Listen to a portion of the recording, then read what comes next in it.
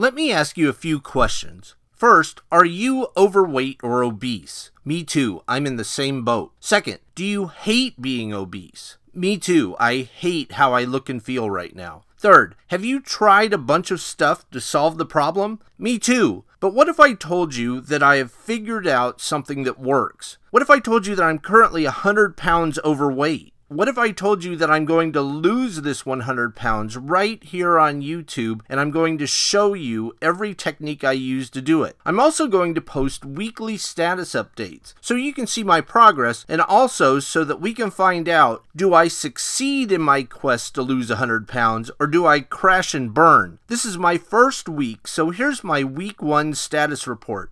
Good news, Things have gone great in this first week. I lost 9 pounds in 7 days using these techniques. Here's another way to think about it. This is a gallon jug of milk. When it's full, it weighs about 8 pounds. I lost this much weight, a little more actually, because I lost 9 pounds, not 8 pounds, and this much volume. Think about that. My body is now this much smaller in just one week. It's really kind of amazing. So let's look at the stats. I started my weight loss program on Monday morning, July 9th, and I weighed 259.1 pounds on Monday. Today is Sunday, July 15th, and this morning I weighed 250.3 pounds. 9 pounds evaporated from my body in 7 days using the techniques we're talking about here. Here's what my weight loss graph looks like if you enjoy graphs. You can see that I lost about a pound and a half per day pretty consistently with one bubble yesterday. If you're at the point where you have to lose weight. And if you're interested in losing weight with me on this program, then please like and subscribe to this channel and invite any of your friends who need to lose weight too. Let's lose weight together.